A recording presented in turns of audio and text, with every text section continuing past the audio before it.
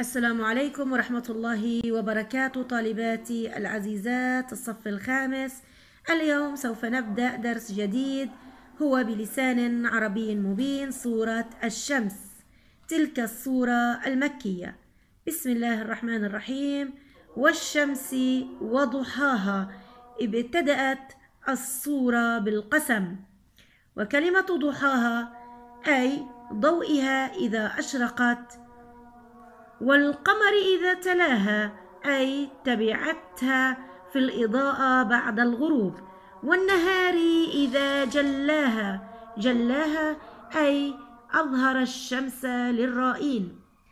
والليل إذا يغشاها يغشاها يغطيها. والسماء وما بناها بناها خلقها. والأرض وما طحاها طحاها أي بسطها ووطأها أي استطاع الإنسان أن يمشي عليها.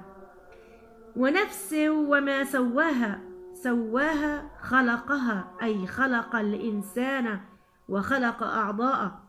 فألهمها فجورها وتقواها فجورها معصية المعصية وتقواها أي الطاعة طاعة الله سبحانه وتعالى. قد أفلح من زكاها. أفلح فاز زكاها طهرها من الذنوب والآثام. وقد خاب من دساها خاب خسر دساها أي حملها الفجور والمعصية. كذبت ثمود بطغواها بطغواها أي بطغيانها وعداوتها. إذ انبعث أشقاها أشقاها أي الشخص الذي قام مسرعا لعقر الناقة فقال لهم رسول الله ناقة الله وسقياها. هنا حذر عليه حذر عليه السلام من عقر الناقة وأن تأخذ نصيبها من الماء.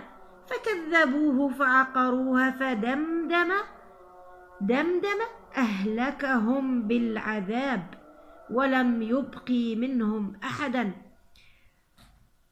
فدمدم عليهم ربهم بذنبهم فسواها أي جل فسواها أي جعل الهلاك عليهم جميعا.